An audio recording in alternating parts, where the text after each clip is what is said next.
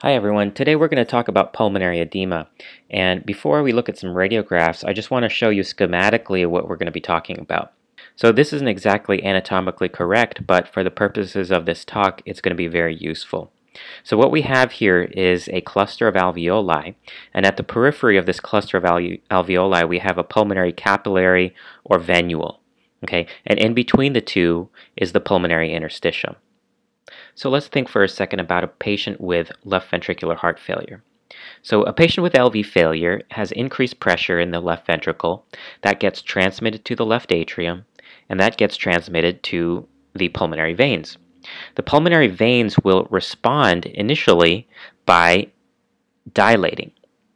And this is not yet pulmonary edema. This is a redistribution of blood in the lungs. And usually, what happens is in a normal person, the veins in the lower lungs are larger than the veins in the upper lungs. Well, in a patient in the early stages before pulmonary edema, there's a cephalization of the blood flow in which the veins in the upper lungs will dilate and they'll be about equal or even greater in size to the veins in the lower lungs.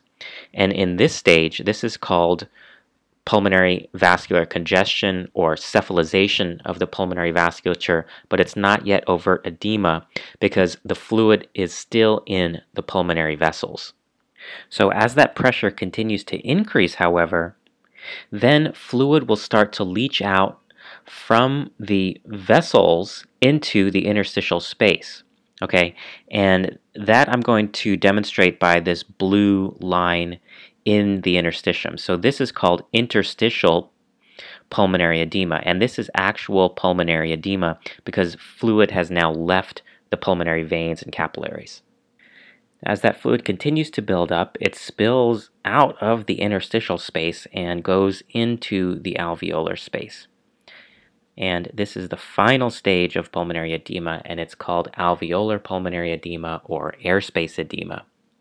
When you have an actual patient with pulmonary edema, you're going to see a little bit of pulmonary edema that's airspace and some pulmonary edema that's interstitial.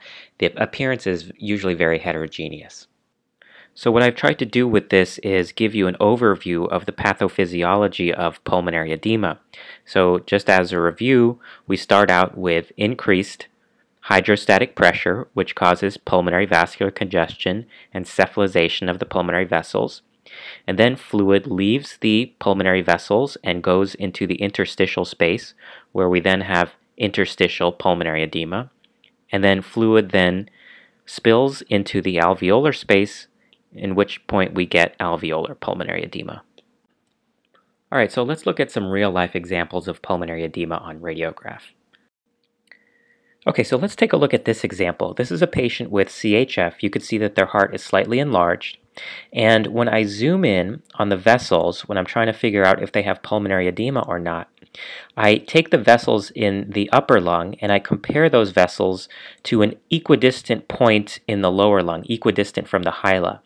And you can see that these vessels in the lower lung, this one is behind the diaphragm here, are slightly larger than the vessels up here in the upper lung, which seem to be a little bit smaller and thinner. Okay, and this is a patient who has no pulmonary edema. Okay, so let's take a look at this same patient a couple days later when they developed pulmonary edema. So at this time, what you'll notice about the vessels is that these vessels in the upper lung are now equal in size to the vessels in the lower lung. And the other thing is they appear to be crowded as well right? And that is because not only are the vessels more enlarged, but they are not as well defined as they were on the prior study. Okay, so let me just zoom this in here and we'll compare the exact spot. So notice how you could see and define the borders of these vessels very well when they have normal lungs. But now the borders of these vessels becomes very fuzzy, right? And the other findings that you'll see here are that you'll see vessels all the way out in the lung periphery. And these are Kerley B lines or interlobular septal thickening. Okay, so this is a patient who has interstitial pulmonary edema. But remember that I told you that most patients with pulmonary edema will have some interstitial and some alveolar edema. Well, in this patient, there's also alveolar edema as well. So all of this stuff down here, this stuff down here, represents alveolar edema. Okay, so in this patient, we have interstitial pulmonary edema with these Kerley B lines and this indistinct pulmonary vasculature, and we have alveolar edema. Okay, how about a more subtle case? So here I have the same patient again as in the earlier example, and I just want to zoom in into the right upper lobe. And what I want you to notice is that in the right upper lobe here, we have those same three vessels, one, two, three. But in this example, those vessels are dilated. But as opposed to the other example, you could still see the borders of these vessels very well. So I would say that in this example, we don't have overt pulmonary edema, but instead we have cephalization of the pulmonary vasculature or pulmonary vascular congestion without overt edema. In other words, the vessels or the blood has redistributed to the upper lungs, but the edema fluid has not leached out of the blood vessels into the interstitial space. Another point that I'd like to make here is that some radiologists use different terms for pulmonary edema. So I am using the term pulmonary vascular congestion to mean a redistribution of blood in the lungs but without actual edema. Some radiologists use the term pulmonary vascular congestion to mean pulmonary edema. Okay, so it's important at wherever institution you're working at to understand the vocabulary that people are using so that everybody can be on the same page. So let's take a look at another example. So in this case, I'm looking at the vessels and trying to determine if there's pulmonary edema. And I think in this example that the vessels are sharp, the borders of the vessels are very well demarcated, and the vessels in the upper lungs are smaller than the vessels in the lower lungs. So in this case, I would say that there's no pulmonary edema. This is normal. Well, a day later, you could see that there's been a big change. First of all, the vessels in the upper lungs are a lot more indistinct. That means that the edema fluid has moved from the vessel, the vessel to the interstitial space.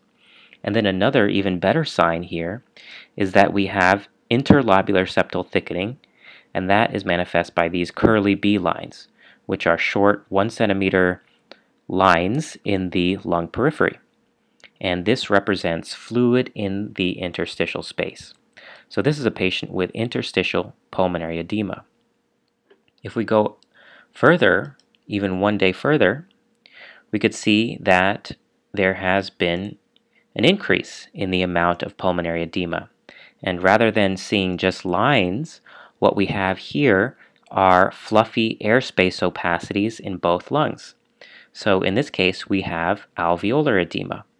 But remember that in most cases where you have alveolar edema, you will still have interstitial edema, and if we zoom into the right lower lung, we have Kerley B lines here. So we have alveolar edema and interstitial edema both. Okay, let's take a look at another example. So this is our baseline study here.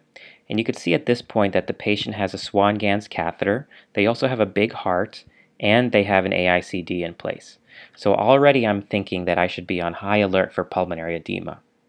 So when I'm trying to decide whether they have pulmonary edema, Let's zoom this up and let's look at the vessels. So the vessels here in the upper lungs, I would say, are very sharp and they're normal in size.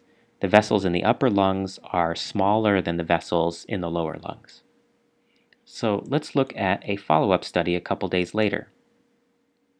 Now the first thing you'll notice when you look at this follow-up chest x-ray is that the vessels in the upper lungs and the lower lungs for that matter, have dilated in comparison to the baseline study. So that tells us that there has been redistribution of pulmonary blood, and this is pulmonary vascular congestion. Now the next question, of course, is, is this simply pulmonary vascular congestion, or is there also interstitial pulmonary edema? And what I would say is that these vessels, while they are dilated, they still remain sharp. I could still see the borders of them very clearly. Therefore, the fluid remains in the pulmonary vessels and has not yet leached out into the interstitium. So I would call this pulmonary vascular congestion without overt edema. So that was the last example. And I hope you all learned something today about the radiographic appearance of pulmonary edema. If you have any questions about this video or other concepts that we've discussed, feel free to leave a comment below or uh, you can direct message me. My contact information is on the About page of this channel.